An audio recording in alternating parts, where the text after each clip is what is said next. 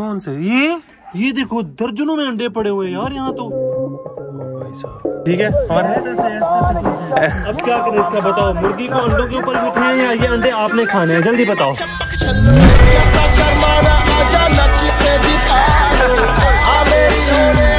ये क्या हुआ यार शान के साथ प्रैंक कर लिया है।